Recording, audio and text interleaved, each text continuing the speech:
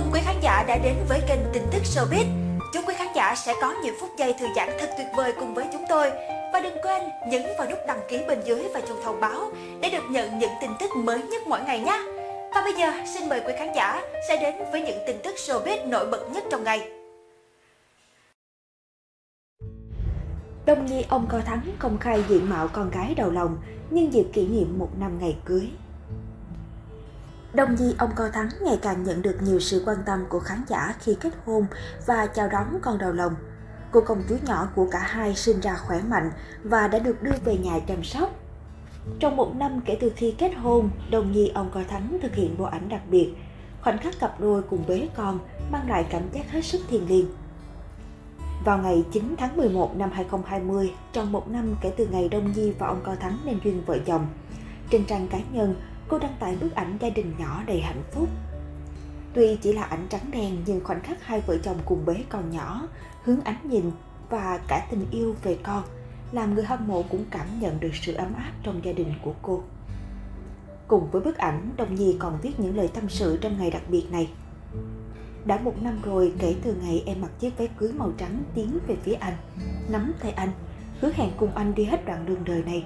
Chưa bao giờ em ngừng yêu và tự hào về anh. 9 tháng 11 năm 2019, mình chính thức gọi nhau bằng hai tiếng vợ chồng. 9 tháng 11 năm 2020, trong một năm ngày cưới, mình đã có thêm một cô con gái bé nhỏ để yêu thương. Được cùng chồng chăm sóc con yêu mỗi ngày chính là niềm hạnh phúc tuyệt vời nhất mà không một ngôn ngữ nào có thể diễn tả được. Cảm ơn con vì đã có mặt ngày cột mốc đặc biệt này của ba mẹ. Ông yên nhi một cô gái màu hồng tươi sáng điểm tô thêm cho cuộc sống từ đây về sau của ba mẹ một năm kết hôn là khoảng thời gian đông nhi ông Cao Thắng liên tiếp làm fan phải ghen tị với tình cảm của mình nhìn lại hành trình đã qua fan không khỏi xúc động trước khoảnh khắc đẹp của cả hai Đầu tiên chính là ảnh Đông Nhi ông Cao thắng nắm tay tiến vào lễ đường, trao nhau chiếc nhẫn ước hẹn. Đến khi thông báo mang thai con đầu lòng, Đông Nhi và ông Cao Thắng vẫn chăm chỉ chụp những bức ảnh kỷ niệm. Đó sẽ là bằng chứng cho thấy đôi vợ chồng quyền lực này hạnh phúc với nhau như thế nào. Nhìn lại một năm kết hôn của đồng Nhi ông Cao Thắng, người hâm mộ sẽ thấy hạnh phúc thay cho cặp đôi.